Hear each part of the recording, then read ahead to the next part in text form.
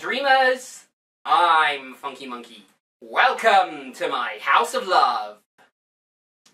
Now, as I've stated before, the world can be a dull and thoroughly unlivening place, and we look to our dreams as another means of escape. But in today's subject, the twilight world of the subconscious can be twisted in on itself and turned against the dreamer. Yes, the House of Love opens its doors to Christopher Nolan's reality bending action thriller Inception.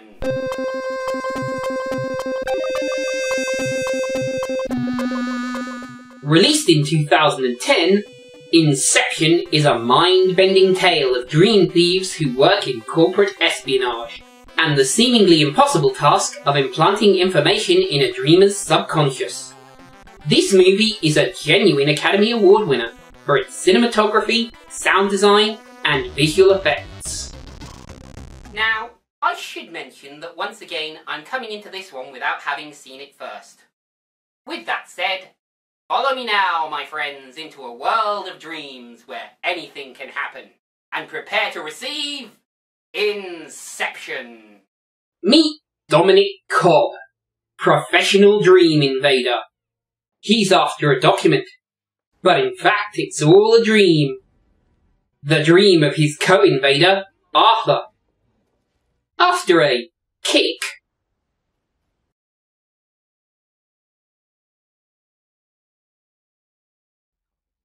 Cobb tries to extract the information the old-fashioned way.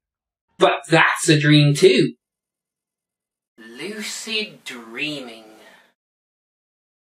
You know, about 10 years or so back, I'd heard they were making great strides in Germany in lucid dreaming, and then all of a sudden it went quiet. Wonder what happened. Back in the waking world, Cobb phones his children. Okay, so yeah, this is a bit of a long story and kind of a major subplot of the movie. In short, it was a suicide pact of sorts gone wrong, but as I say, it's a major subplot, so I'll explain it further as we go along. For now, let's move on. But Saito, Cobb's previous target, has an interesting idea. Saito proposes Inception, placing an idea into someone's head. And to sweeten the deal, Saito offers to get Cobb off the hook for the fallout from that suicide pact. Well, I've never heard of a businessman being able to call off a murder charge.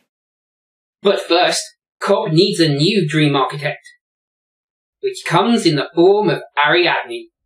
Cobb shares a few helpful hints about dream states over coffee. Quick point. In dreams, the mind works quicker, so time seems to last longer. So, five minutes in real time might be an hour in the dream. As we go further into nested dreams, the effect is compounded. But after a spell in Cobb's subconscious, She's less than willing to expose herself to that. Note that the mal projection was the one that stabbed Ariadne awake. This troublesome spectre has been a thorn in Dom's side for quite some time now. Betting that she'll return, Cobb takes an even more dangerous gamble to acquire a forger. But first he'll have to escape the clutches of his former employers, which he manages courtesy of his current employer. And so, we meet the chemist who can create a strong enough, yet safe enough sedative for a rare triple nested dream. And Mr. Saito tells us the reason for this job. Long story short, Fischer Morrow are poised to become a global energy monopoly, which is bad for everyone. Business, eh? It's as bad as politics. Which leads Eames, the forger, to drop in on the Fischers. We begin prepping for the job with a test of the custom dreaming drug. Now, I don't have much of a chemistry background, so I don't know how much of this is actually Hollywood chemistry and how much of this is actually possible. Sorry. And so the job is built. But one night, Ariadne has an attack of curiosity. Cobb tells of the last time he saw his kids. But Ariadne's more interested in the basement. Mr. Fischer Sr., who was an old and sickly man, has died. It's go time. Ladies and gentlemen, a moment for Energy Magnet Maurice Fischer.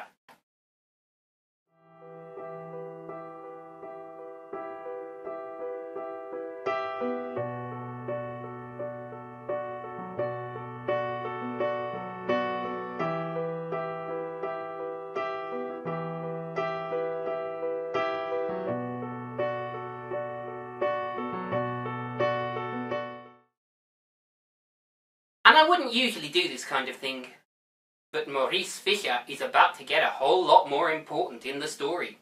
Especially seeing as Robert Fischer, son of Maurice and heir to the Empire, is the one that they're planning to incept. And the idea is for him to break up Fischer Morrow into smaller, competing companies. Like I said, business. But Fischer Jr.'s subconscious isn't without its own defences. And those defences have consequences for Saito. And not just Saito. You see, because of the special formulation of the dreaming drugs, a quick death won't wake you up, but instead drive you to limbo, the lowest level of your subconscious. Eames puts on a friendlier face and attempts the first inception. Yes, so apparently this is one of Eames's many talents, being a master of disguise in the dream. Meanwhile, Cobb comes clean. You see, Mal, Cobb's wife, left a note with their lawyer saying that if she died under mysterious circumstances, it was his fault because he was turning violent or something. Then she leapt to her doom. Now, obviously, this letter was a lie, but Cobb still feels guilty for reasons we'll soon discover. And so we move to Dream 2 and the Mr. Charles Gambit. Now, the Mr. Charles Gambit, as I understand it, is for one of your team to pose as Mr. Charles, head of the subject's subconscious security. This is risky, as it's been explained to me, because it draws attention to the dream state, which means that the projections, which act as subconscious defenders, are looking for the dreamer.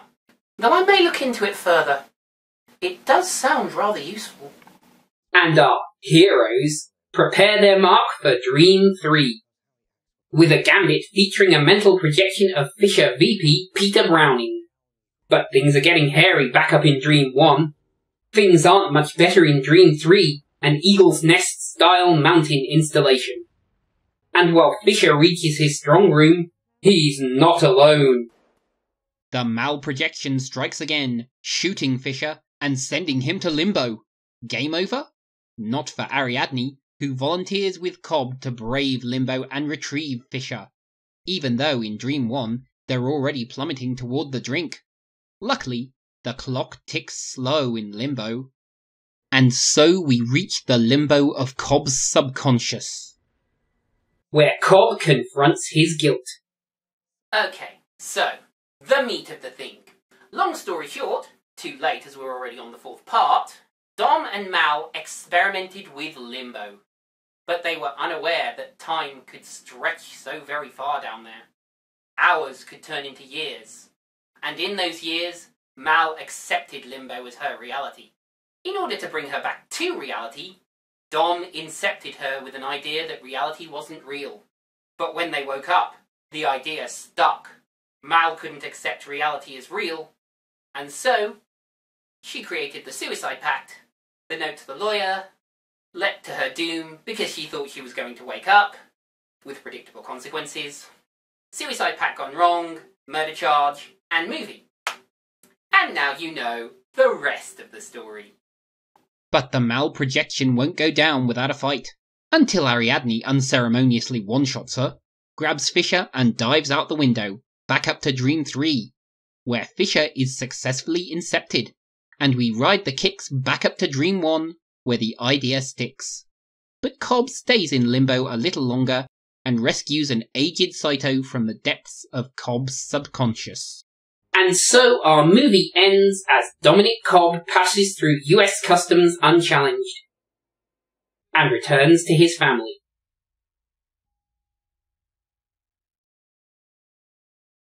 So then, my friends, that was Inception. Everything we see or seem is but a dream within a dream within a dream. And I'd have to be dreaming not to put this one into the House of Love. I won't lie, it's an affecting movie. The performances are achingly real, at least from old sprout-faced DiCaprio and Marion Cotillard as the memory of his lost love. Tom Hardy's Eames is every inch the James Bond archetype, and proof, if proof were needed, that Hardy could pull off the role, were he offered. Indeed, he positively steals every scene he's in. The main plot, even with its reality-bending slant, is your basic heist movie, but director Christopher Nolan carries it off with style, charm, and a lot of heart. Though, while the sound design won an Oscar, in my opinion, it wasn't all that special. Except maybe for the apropos use of Non je ne regrette rien in the soundtrack. Overall then, it may not be a sweet dream, but in my opinion at least, Inception is far from a nightmare. I've been Funky Monkey wishing you sweet dreams, good days, and great entertainment. And hey, don't have nightmares!